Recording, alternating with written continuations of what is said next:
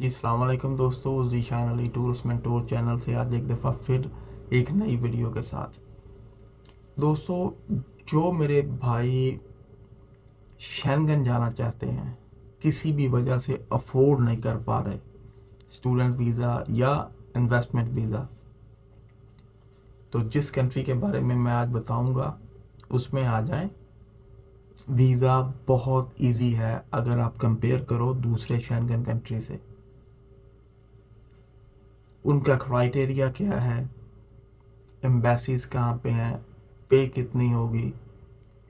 ये सभी मैं मुख्तर आपको इस वीडियो में बताऊँगा।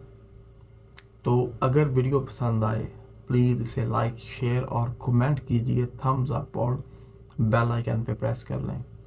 और जो मेरे दोस्त इस चैनल पे नए हैं या मेरी वीडियो देखते हैं लेकिन मेरे चैनल को सब्सक्राइब नहीं किया प्लीज़ मेरे चैनल को सब्सक्राइब कर लें।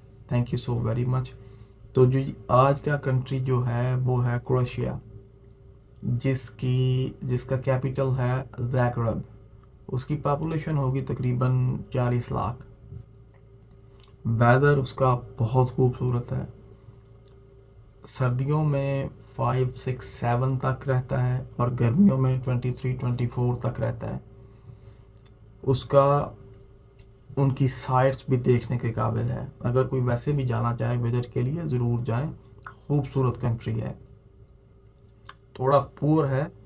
इसी वजह से हमारे जो नॉन यू नेशनल्स हैं, वो यहाँ पे वीज़ा अप्लाई नहीं करते। हालाँकि वीज़ा इसका इजी है। शेंगन में आप आ जाएँ। दो, तीन साल, चार साल आप जॉब करें और वहाँ से किसी अच्छे कंट्री में चले जाएँ। मसला तो है वीज़ा हासिल करना। अच्छा इसका वीज़ा कैसे आप ले सकते हो? बहुत इजी वे है। ऑनलाइन जॉब्स अप्लाई करें अपनी स्किल के मुताबिक। ठीक है? उसकी पे का मैं बता देता हूँ। पे उसकी ज़्यादा हाई नहीं है। फाइव हंड्रेड यूरो से लेके एक हज़ार यूरो तक है। ये पे बहुत कम है। कॉस्ट ऑफ़ लिविंग भी बहुत कम है। तो मकसद अगर आपका शेंगन आना है, वहाँ पे पीआर लेना है तो मेरे हिसाब से ये कंट्री चीप भी है और इजी वीज़ा भी मिल जाता है। अच्छा अगर आपके पास जॉब कॉन्ट्रैक्ट है जॉब ऑफ़र लेटर है, आप एम्बेसी में चले जाओ। स्पेशली मैं पाकिस्तानियों को ये मैं बात कहूँगा कि पाकिस्तान में इसकी एम्बेसी नहीं है। आज़रबाईजान में है, दोहा में है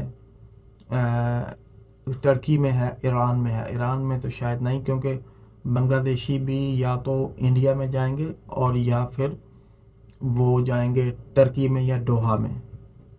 आज़रबाईजान को वीज़ा नहीं दे, अब बांग्लादेशी को अदरबाईजान वीज़ा नहीं दे रहा। तो इंडिया अप्लाई करें या दोहा या टर्की में।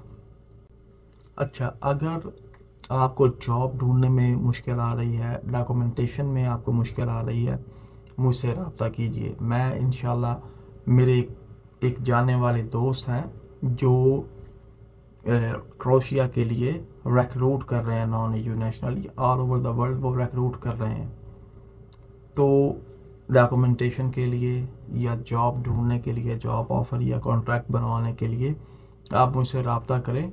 वो अपनी थोड़ी सी कंसल्टेंसी फ़ीस लेगा और वो आपका अप्लाई कर, करवा देगा।